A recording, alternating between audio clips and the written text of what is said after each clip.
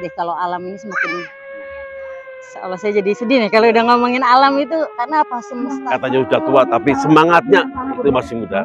Ya mungkin kita para pendaki napas tua dan para pencinta alam lainnya karena kita berkewajiban semua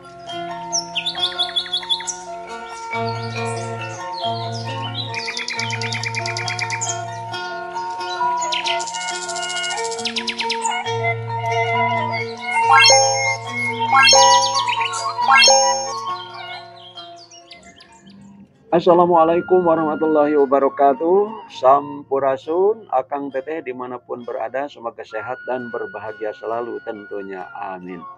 Marilah kita selalu bersodakoh Walaupun sodakohnya hanya menanam dan pelihara pohon Pasti akan dimanfaatkan oleh anak cucu kita kelak.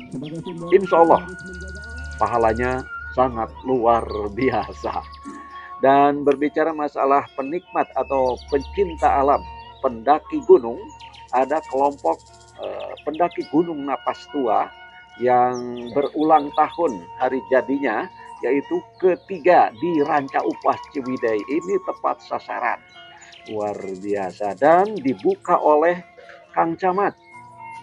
Kang Kankan ya. Kang Kankan Taufik.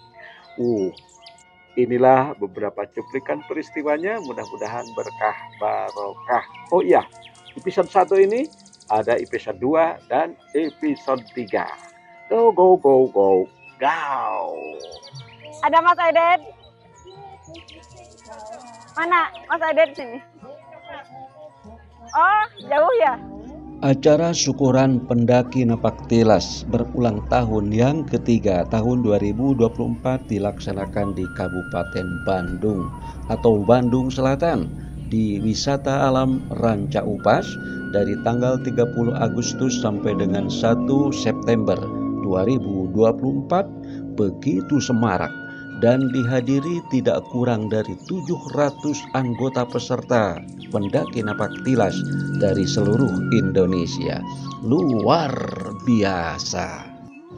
Adapun acara pembukaannya diawali dengan menyanyikan lagu kebangsaan Indonesia Raya, dilanjutkan murotal, ayat-ayat suci Al-Quran, dan tarian Wilujeng Sumping dan Tadabur Alam oleh lintas generasi.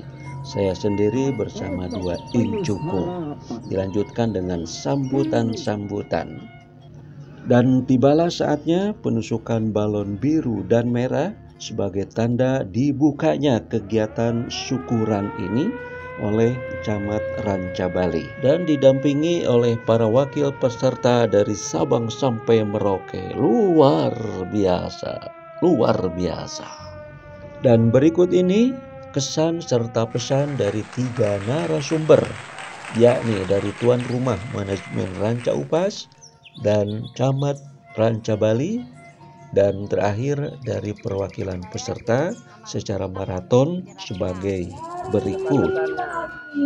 Mungkin secara pribadi dan secara manajemen kesan-kesannya kami terima kasih sekali Pak. Karena apa? Karena kami telah ditunjuk sebagai tempat untuk berkumpulnya eh, apa ya para pecinta, para pendaki yang walaupun katanya sudah tua tapi semangatnya itu masih muda.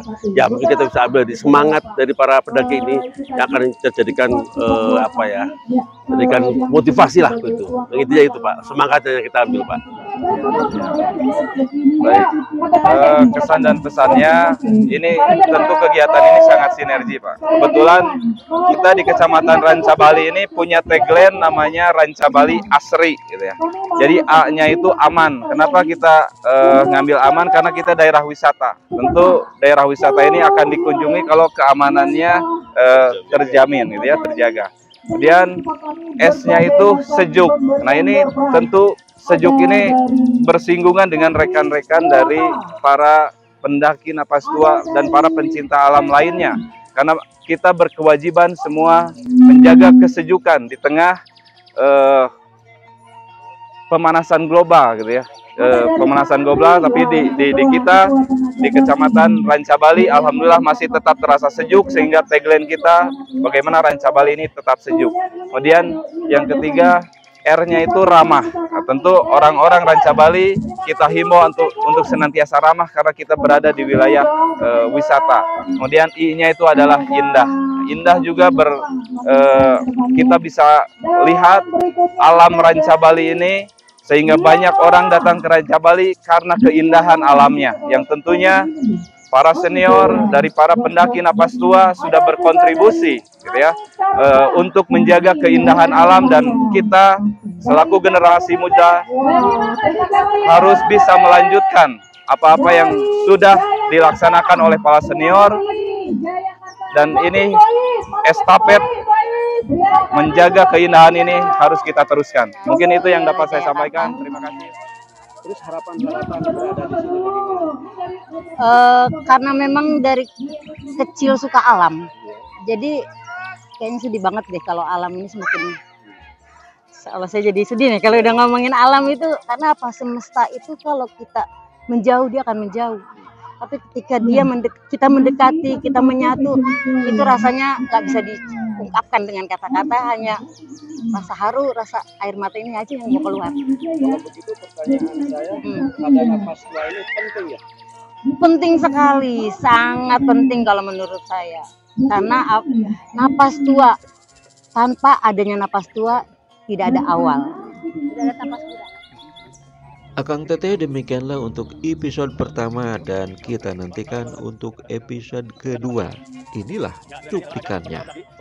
Jadi kita menggunakan momen anniversary atau hari jadi. Nah, memang harapan kita Napas tua dari seluruh Indonesia yang merayakan hari jadinya yang ketiga memberikan salam lestari, salam konservasi, salam.